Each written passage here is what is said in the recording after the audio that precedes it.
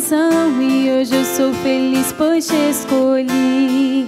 Cristo, é só em ti que eu posso encontrar a salvação. Sentido para o meu viver, quero a cada dia que me das me entregar. Mais uma vez, Senhor, escolho estar em tuas mãos e te entregar. Aquilo que sou, meu coração será para sempre a tua morada. Faz de minha vida o teu lugar mais uma vez.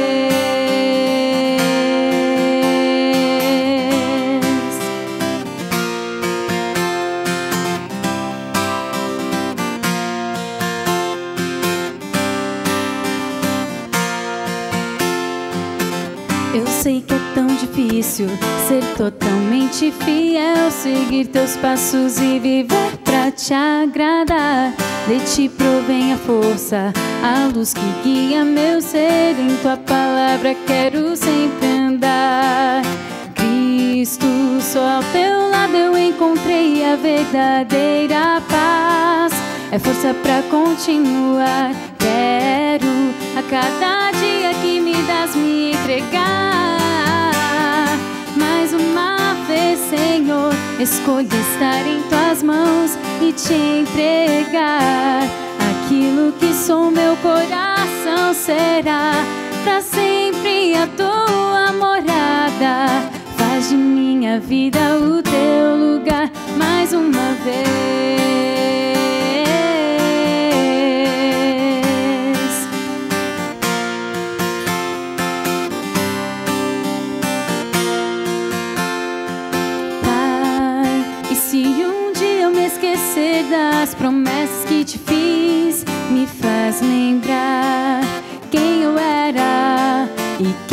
Hoje sou em ti.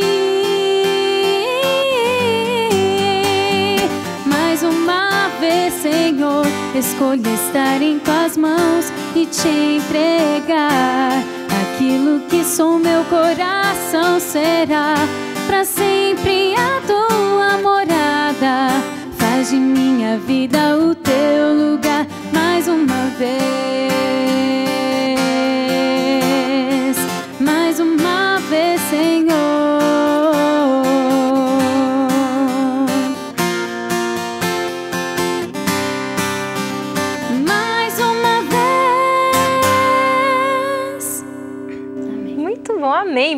Bruna Santos hoje aqui no Conexão, acompanhada do Gustavo. Boa noite, Bruna. Seja bem-vinda ao Conexão pela obrigada primeira vez.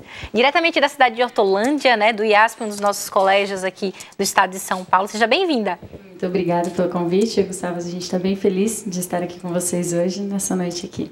Muito bom. E olha só, você pode participar. Boa noite para você que está em casa. Participa conosco, interage em nossas redes sociais, está aparecendo aqui na sua tela, arroba PG Conexão. Lembra de usar a nossa hashtag, que é Jogo da Velha Conexão sem acento. Se você ainda não curtiu a nossa página no Facebook, não perde tempo, facebook.com barra Conexão Jovem Oficial, porque o Chapolin já está aqui, já está interagindo. Já estou escrevendo Tudo aqui, bem, galera Chapolin? participando. Tudo bom, Luciano? E você? Tudo bem, graças a Deus. Maravilha. Luciano, Como é que são o os programa nossos tá de bola. internautas Eu já vou começar antes que a gente esqueça. É verdade, é mostrando verdade, o você tá prêmio certo. de hoje. Se você participar com a gente no arroba PG Conexão, você vai levar esse lindo CD para sua casa. Tem um- vai ter dedicatória já ao vivo aqui, autógrafo já? Pode ser, né? Então, Primeiro se você trabalho, participar com a gente, É o meu vai primeiro receber trabalho o CD solo. da Bruna. Primeiro, né? Primeiro de Isso. muitos. Amém. Tá ok, Chapo. Estou aqui também com o nosso estudo bíblico. Olha só, você pode. Esse presente aqui é para todo mundo, né, Chapolin? O Esse CD aí da todo mundo Bruna. pode ganhar, Lu. O CD da Bruna, a Bruna trouxe dois presentes aí, um para o pessoal do Face e do Twitter, mas esse aqui, como disse o Chapolin, é um presente para todo mundo. É só passar em nosso blog novotempo.com conexão jovem e saiba como adquirir esse estudo da Bíblia, o resgate da verdade. Lembrando também, claro, se a gente não falar da nossa camiseta, o pessoal fica chateado, hein, Chapolin? Porque o pessoal tá curtindo aí a nossa camiseta do Conexão, participe e interage sobre o tema de hoje. E por falar no tema de hoje, Chapolin, é, agora início de ano, muitas pessoas é, estão Começa ansiosas, estudar, né? hein? se preparando para o pré-vestibular, fizeram vestibular, na verdade, agora. E algumas pessoas não tiveram tanto sucesso em faculdades que são públicas, faculdades federais, estaduais, e de repente ficam aflitos, querendo pagar um, um ensino superior, mas também não têm condições, condições para isso, né? E aí vem um programa do governo federal para facilitar isso, chamado FIES, que é sobre isso que a gente conversa hoje. E para conversar sobre o tema, para abordar é, esse assunto, recebemos aqui o pedagogo, nosso amigo Alessandro. Tudo bem, Alessandro? Tudo bem. E é sempre um prazer muito grande estar aqui com vocês e também com o público que sempre interage tão bem com a gente aqui. É uma alegria. Agora virou conexão e não mandar um abraço para o pessoal da Escola de Taubaté. Ah, sim, o pessoal me cobrou né? hoje. Falou, você, professor, o senhor tem que mandar um abraço pra gente. O pessoal da administração, os alunos, os pais, tem muita gente querida lá. A gente ama todo mundo lá. Muito obrigado. Um abraço para o pessoal de Taubaté também, um povo muito querido da igreja de Tremembé também, um abraço para vocês. Agora, professor, explica para quem está em casa, de repente tem gente que nunca ouviu falar é, no que, o que significa o FIES, né? Que programa é esse do governo federal? O FIES, Luciano, é um fundo que o governo destinou, o governo federal criou, para financiar a educação, a, é um financiamento estudantil. Uhum. Então, para aqueles alunos que não têm condições, ou até mesmo cujo curso não, tem numa unidade de uma instituição pública, é, eles podem financiar este curso com um subsídio do governo. Tem vantagens, tem desvantagens também, mas a taxa desse financiamento é muito mais baixa do que o mercado pratica, 3,4% ao ano. Então, é, muita gente está se beneficiando dele. Para vocês terem uma ideia, de 2010 para cá, desde quando ele foi criado, é, 1 milhão e 600 mil pessoas participaram. Uhum. Ele vem crescendo a cada ano. Do ano passado para cá, ele cresceu 47% no número de pessoas que está fazendo uso desse fundo. Então, muita gente só está só, só conseguindo ter acesso à educação superior Através, através dele. Mas ele levanta muita discussão por causa do endividamento. Se discute até mesmo assim, o governo não deveria proporcionar isso para a população? É isso que eu ia perguntar. Uhum. A educação não faz parte dos nossos direitos, né? Como então, cidadão. A Constituição é, muita, não garante educação, saúde, Uhum. E até mesmo porque as instituições públicas não conseguem abarcar a quantidade uhum. de estudantes. A vantagem, a grande vantagem de se ver nele, é que, certo ou errado, ele está dando uma alavancada na quantidade de pessoas aqui no Brasil com formação superior. Nós, é, nós éramos um país, e ainda somos, de certa forma, um país muito atrasados nisso. Uhum. Então, muita gente que jamais teve condições de de tentar uma educação superior está conseguindo. Agora, quando a gente fala em 1,6 milhão de pessoas, não significa que todas elas concluíram também. Uhum. Uhum é o número de pessoas que conseguiu fazer o financiamento, mas quantas conseguiram ir até o final por outras circunstâncias, é, os números não são muito claros. Eu pesquisei também alguma coisa na internet para trazer alguns dados e você consegue ver que nem tudo está claro ali. Uhum. Ah, agora, um dos pontos que se, se, discute bastante é a questão do endividamento depois. Uhum. Como é que faz isso? Como administrar essa agora, situação, Luciana, né? tem já uma pergunta aqui da internet. Por favor. Né, os nossos twitteiros participando. Inclusive, eu achei interessante que aqui na nossa página do Facebook tem um comentário comentário, cadê? Deixa eu olhar aqui. Comentário não, a pessoa compartilhou. É a Luciana Viana. Ela é mãe e ela fez um compartilhamento para a filha dela, Luciana. Olha só. É, a filha dela é Evne Nael, eu acho que, se fala, acho que fala assim. Olha, filha, hoje vai passar na TV Novo Tempo no Conexão sobre o FIES. Então, a mãe já dando dica para a filha aí pelo Facebook. O Facebook hoje está incrível, né? Até a mãe da gente a gente encontra no Facebook. Não dá nem para fugir nem no Facebook. E tem um comentário aqui do Jailson Correia pelo Twitter. Ele fala o seguinte: a pergunta dele é como se inscrever no FIES e quem tem o direito de participar? Todo mundo pode participar ou como que é o processo? Tem uma seleção? Como que é, professor? Existe sim uma seleção. A família tem que ter, é, não pode ter mais do que 20 salários mínimos de, de, de renda, a renda bruta familiar. É, para a pessoa se inscrever, ela deve procurar uma, uma, uma, das faculdades, as universidades sejam credenciadas. A faculdade ela tem que passar lá nos, Então não são todas as universidades que são, que são não. conveniadas? Não, são aquelas faculdades com conceito positivo uhum. dentro do MEC. Então já não são todas. E a pessoa deve, em, em, primeiro lugar, procurar a própria faculdade. A pessoa tem que fazer ali o processo vestibular e tudo mais, e depois na secretaria lá da faculdade ele consegue as informações. A faculdade tem o credenciamento, ele vai preencher o formulário, e depois tem uma comissão, um local onde ele, a, a pessoa vai ser orientada a procurar para. É, e, e, e, naquela comissão, então, vai ser feita a última avaliação, se a pessoa pode ou não ingressar então, nesse Então, provavelmente tem, tem faculdades que, dependendo do curso, ela é você pode fazer ou não, porque tem curso da mesma faculdade que é A e tem curso que é uma que nota mais baixa. Sim, isso é uhum. é mu muito bem observado. É, é, importante a pessoa avaliar esse detalhe antes de procurar o curso. Uhum. Às vezes a pessoa vai lá, faz vestibular, faz tudo e quando vai ver o curso não tem, não uma, está, é, não está enquadrado no, no nos, nos requisitos para o FIES. É, Muito tá importante isso. Agora, Bruna, você conhece alguém que, que financiou o. Olha, eu até conheço alguém que financiou e demorou. Ó, se formou e ainda estava pagando, assim. Se formou, já passou uns quatro anos e ainda continuou pagando, continuou pagando. Por um lado, foi bom, porque conseguiu concluir os estudos, mas, por outro, é, é, ele se arrepende muito de ter financiado hum. hoje em dia, porque vê que vai ficar bons anos ali pagando um dinheiro que poderia agora ser uhum. útil para outras coisas, né? Uhum. A agora pessoa é seguinte, já começa então... a vida né, profissional com endividada, dívida, né? né? Ok, Chapolin, mas quem pode falar sobre esse assunto com propriedade é o Rodrigo, que está conectado com a gente diretamente de Santa Catarina. Rodrigo, boa noite com você, tudo bem? Boa noite a todos, um abraço para todo mundo aí. Tudo Rod... certo. Rodrigo, conta pra gente qual foi o curso que você financiou através do FIES. É, eu fiz o curso de Ciência da Computação em Joinville. Uhum. E qual foi a sua experiência? Foi positiva? Você já concluiu o ensino superior? Já, já concluí o ensino superior, já terminei o mestrado, hoje eu sou mestre em Engenharia Elétrica. E você já, conclu... já concluiu também o seu financiamento com o FIES? Já, isso. Em, no ano de 2000 eu iniciei a faculdade e depois de um ano, dois anos, começou aqueles problemas financeiros típicos de quem está começando a faculdade e não tem muito dinheiro. Uhum. E de tanto incomodar a, a, senhora lá que cuidava do financeiro, ela mesma me indicou que eu fizesse o FIES. E foi muito, assim, deu para ver bem que foi providência divina, porque tinha dois rapazes na frente, assim, uhum. e na verdade depois tem aquela fase que tem que comprovar através de documentação. E eles não conseguiram comprovar, né, a, com documentação, e aí eu fui o próximo da vez e consegui financiar meus estudos mais dois anos o que foi bem tranquilo assim para pagar naquele tempo. Uhum. Então você teve uma experiência positiva em relação ao Sim. financiamento do seu, dos seus estudos, né? Na verdade, naquele, naquele momento era a única alternativa que, que me restava era esse financiamento. Eu já estava uhum. a ponto de abandonar a faculdade e abandonar os estudos porque não tinha condições de pagar. Uhum.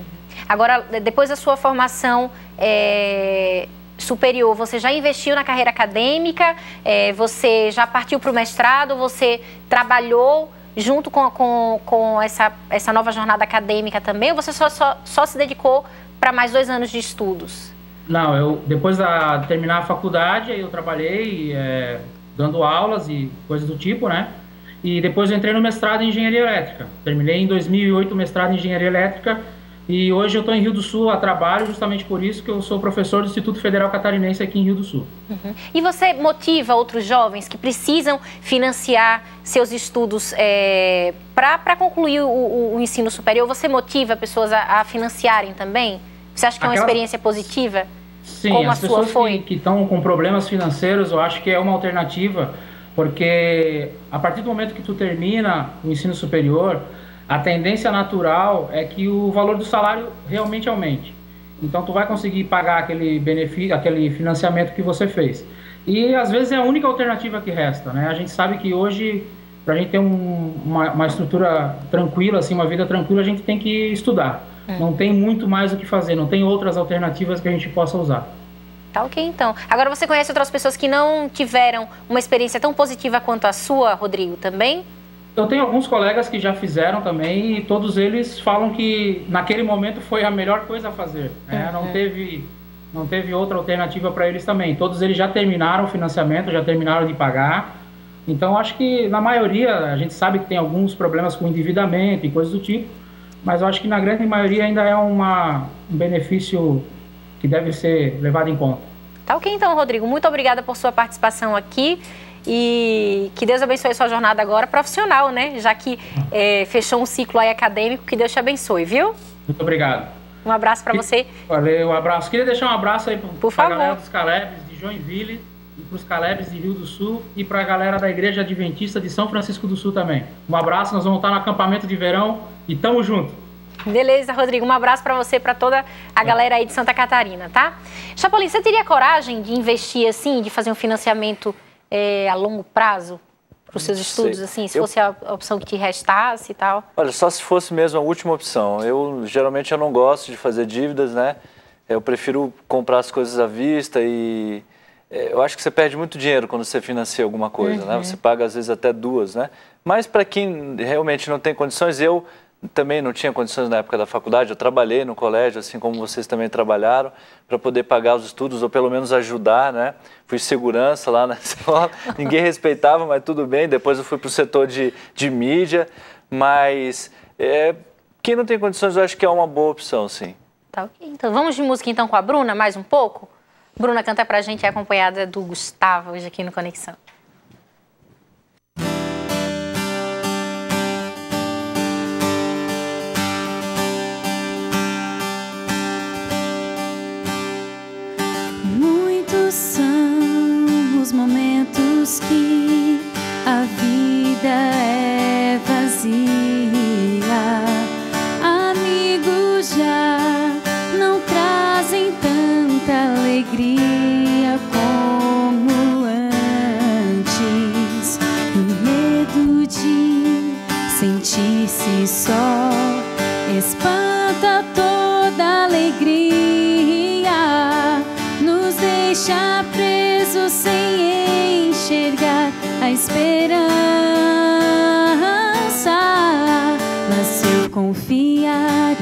Mãos, entregar minha vida aceitar os teus planos, viver os teus sonhos, ouvir tua palavra, aceitar a tua graça e amor. Viverei bem mais feliz.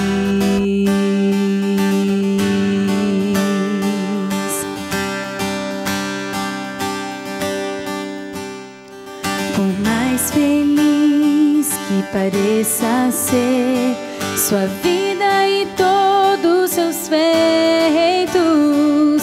Nada são sem a direção de seu Pai, o Criador.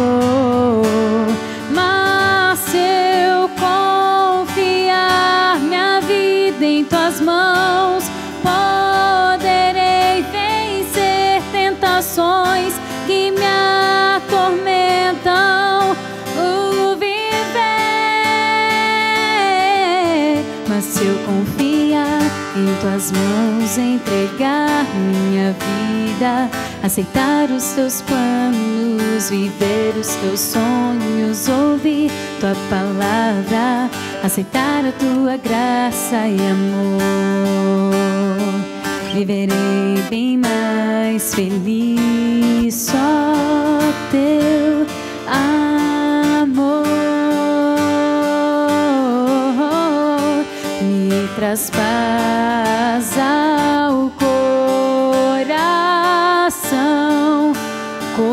coração. Mas se eu confiar em tuas mãos, entregar minha vida, aceitar os teus planos, viver os teus sonhos, ouvir tua palavra, aceitar a tua graça e amor, viverei bem mais feliz entregar minha vida, aceitar os teus planos, viver os teus sonhos, ouvir tua palavra, aceitar a tua graça e amor. Viverei bem mais feliz.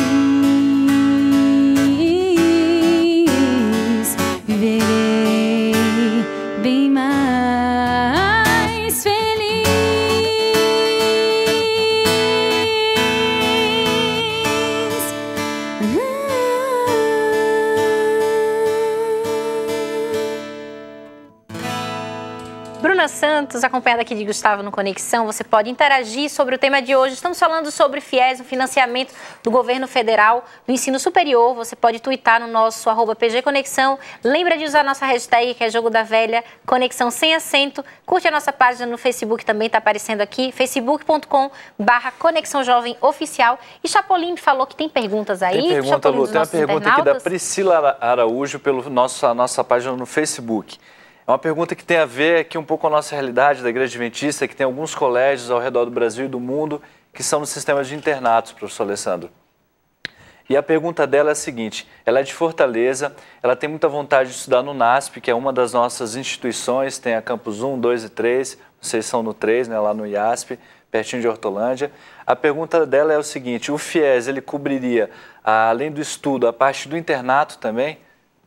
Não pelo que, pelas informações que a gente tem, ele não cobre o, externato, o internato, aliás, porque uhum. ele é destinado às despesas com o estudo propriamente dito. educação. Não alimentação, aí, estadia. Algum, exatamente. Alguns estudantes fazem o FIES para custear os estudos, mas aí a parte do internato, família, ou de alguma forma, através da comportagem, de alguma outra uhum. forma, uh, eles precisam dispor desse recurso. Então seria apenas para o estudo, né? Não exatamente. incluiria a parte de dormitório, despesa, alimentação, que é o que inclui no dormitório. É, né? exatamente, que é o que acaba okay. tendo no, no no curso de no, no internato, né? Uhum. Muito bom. Agora, é, a Bruna trouxe até relatos de pessoas né, que, que financiaram e não tiveram sucesso, tá, estão tendo dificuldades e tal para pagar o financiamento. Eu fico preocupada que me parece que pode é, incentivar uma cultura do endividamento, né? Porque não existe uma garantia de que quando você conclua o, o, nível superior, você vai ser inserido imediatamente no mercado de trabalho. De repente, poderia, poderia ser mais um braço também desse programa do governo federal, é, dar uma possibilidade, dar uma, uma, uma oportunidade de, de ingressar no mercado de trabalho verdade, imediatamente. Tem um prazo, né? um prazo até interessante, razoável, dependendo da, da profissão. Tem um prazo de 18 meses. Uhum. Então, você tem aí um ano e meio. Mais pra, de um ano, né? né? Tem mais de um ano para você se recolocar. Só que ainda assim, quando se fala se recolocar, é, por exemplo, se você faz um curso de direito, a Bruna mencionou esse, esse exemplo quando a gente batia papo antes, você faz um curso de direito. O que é a recolocação no direito? Às vezes você vai conversar, começar por um, sendo auxiliar, trabalhando uhum. em tarefas mais básicas. Lembrando que no direito, após a faculdade, você tem ainda tem ainda o, exame e tal. Tem, tem, gente que leva mais de um ano para passar no exame. Uhum. Então, até você ter uma renda familiar, uma renda, aliás, pessoal, satisfatória, e algumas pessoas, né, a, a, esse, a, a esse ponto, já, já terão constituído família. Então você tem aí uma série de outras coisas que entram. Eu acho que o grande problema é o seguinte: se eu quiser comprar um carro hoje, não tiver condições de pagar, eu vou financiar. Só que eu vou é, tomar uma decisão com base nos dados é, atuais. Uhum. Eu tenho dados, quanto eu ganho hoje. Agora, o FIES, eu preciso tomar uma, uma decisão com dados daqui, daqui 4, 5 futuro, anos. Né? Quanto é. você vai estar ganhando, hum, né? Eu, se vai estar empregado. Né? E você não tem certeza, é. né? Não tem uma... Então, tem pessoas que conseguem se recolocar rapidamente e para elas isso foi uma benção, como no caso que foi apresentado aqui, mas para algumas pessoas isso se torna complicado porque não conseguem. Esses dias eu falei com uma pessoa que está com uma dívida de 30 mil reais, uhum. uma mãe de aluno lá do colégio tal, ela está com uma dificuldade, uma dívida de cerca de 30 mil reais porque ela não conseguiu se reorganizar. Uhum. Então a orientação aqui do Conexão é que você pare, reflita, converse com seus pais, com pessoas mais experientes, procure saber de, de de profissionais que já estão no mercado de trabalho, que financiaram seus estudos também. E se você quiser conhecer um pouco mais sobre esse financiamento do governo federal, acesse fiesbrasil.com.br, pesquise e tome a decisão, mas tome a decisão consciente, com segurança, né? Que eu acho que é o mais importante. O nosso programa já está acabando, já acabou Passa o tempo. Rápido, né? Passa rápido, né, professor? Muito obrigada, obrigada por sua participação. Esperamos você mais vezes aqui em 2014. Eu agradeço. É sempre uma alegria estar aqui. É muito legal. Eu rejuvenesço quando venho aqui. o prazer é todo nosso. Chapa, acabou. Lu, muito obrigado. Obrigado, tá agradecendo. Porque essa casa é sua, Chapolin? Eu, na verdade, eu agradecer os convidados que cantaram aqui, a Bruna e tal, o pessoal aí. É, eu tenho família, familiares que moram em Hortolândia, então o pessoal manda, leva o meu abraço para é, os meus familiares lá de Hortolândia. Tá ok. Lembrando que a semana que vem, hoje já é quinta-feira, né? Segunda-feira, tem mais conexão ao vivo aqui na TV Novo Tempo, às 19h30, o nosso encontro aqui com você. Meninos, muito obrigada viu, pela participação, Gustavo, Bruna. E agora mais música para quem está em casa.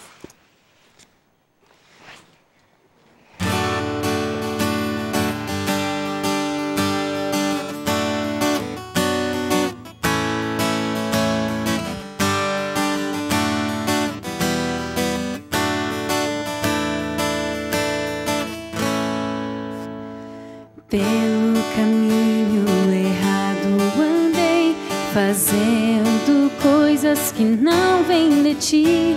Fui tão longe que achei não poder mais voltar. Mas quando olhei, estavas a me esperar. Eu quero fazer a coisa certa agora Eu sei que preciso aceitar, esta é a hora. Eu tenho perdido meu caminho, mas eu quero voltar. Pai, cuida de mim.